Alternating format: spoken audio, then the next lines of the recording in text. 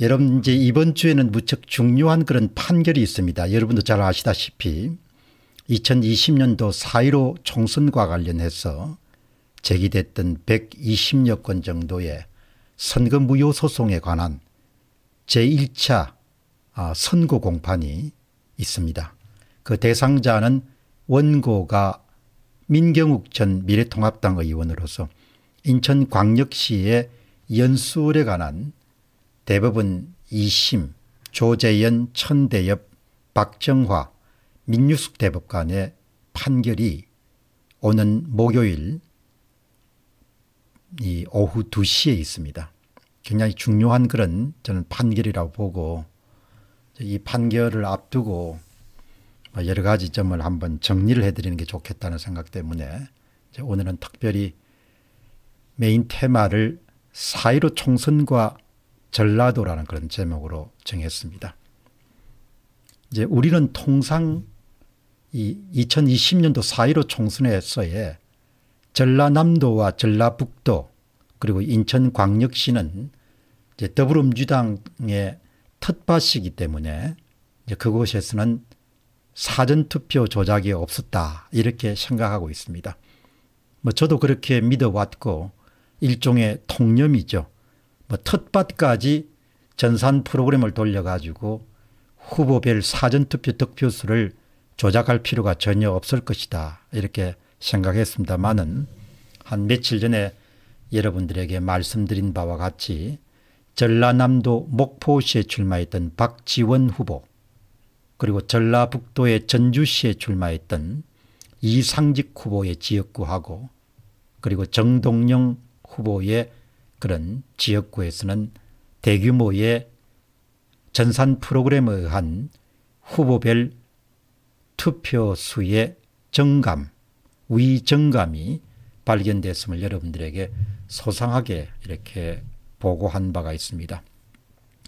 제가 궁금한 것은 시민디님이 제공한 그러니까 부정선거 여부를 판별하는데 가장 간단하면서도 너무나 명료한 그런 일종의 잣대에 해당하는 관내 사전투표 득표율 빼기 당일 투표 득표율을 그렇게 보여주는 그래프를 분포도를 보면은 놀랍게도 통영과 관리 전라남도 전라북도 광주 광역시에도 상당수의 전산 프로그램 가동에 의한 후보별 사전투표 수의 위정감 행위가 있었다 이렇게 봅니다. 그렇기 때문에 제가 이제 이 점을 갖고 제야 전문가와 함께 연락을 했습니다.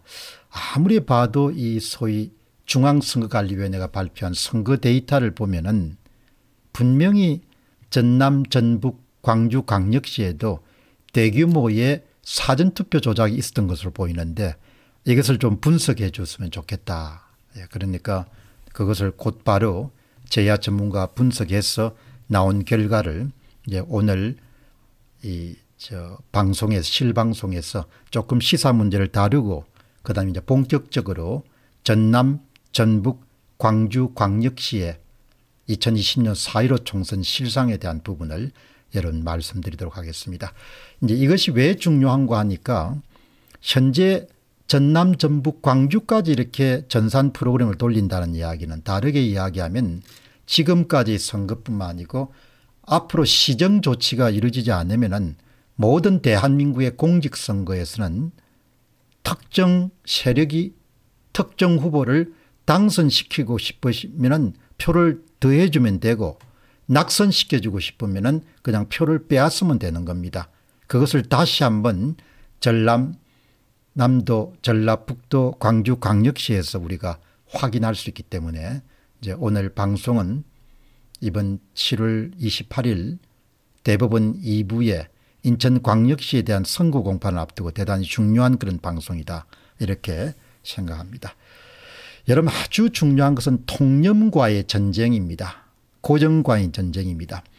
4.15 총선 이후에 선거 무결성, 선거 공정성에 대한 부분들을 이렇게 파헤치면서 저는 상당히 의외이고 놀란 것은 소위 언론사 출신들 젊은 날 기자들을 한 사람들은 이 고정관념이나 통념이 굉장히 강하다는 그런 생각을 많이 하게 됩니다. 그러니까 평생 동안 예를 들면 언론사는 주로 편집부에서 방침을 정하게 되면은 옳은 일은 아닙니다만 사실 여부와 관계없이 그 방침에 맞춰서 기사를 쓰는 것이 관행화되어 있는 것 같습니다.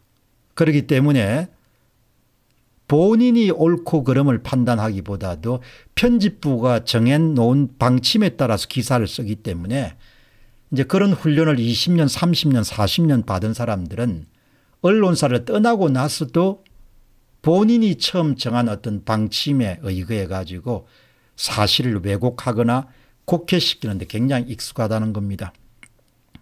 그러나 저 같은 사람들은 뭐 그런 게 전혀 없으니까 항상 사실이 뭐냐 진실이 뭐냐 그러니까 사실을 판단할 때 선입견을 갖지 않고 통념을 갖지 않고 항상 자신이 갖고 있는 생각을 가설이라고 생각하고 그 가설이 맞는가 맞지 않는가를 판별하고 변별하는 데 초점을 두고 있기 때문에 사실과 진실을 굉장히 겸허하게 받아들이는 그런 경향이 있는 것이죠. 그러니까 굉장히 큰 차이가 있는 겁니다.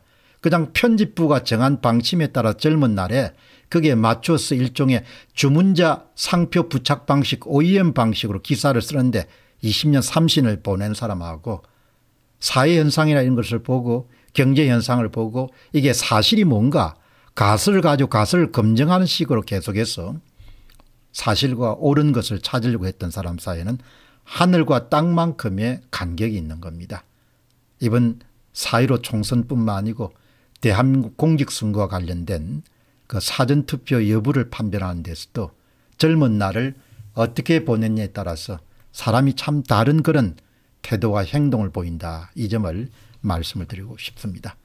통념을 멀리하는 것은 사업가들에게는 필수적이죠. 그렇지 않으면 망하기 때문입니다. 생활인으로서 살아가면서도 이런 부분이 참 중요하다 이런 생각을 하게 됩니다.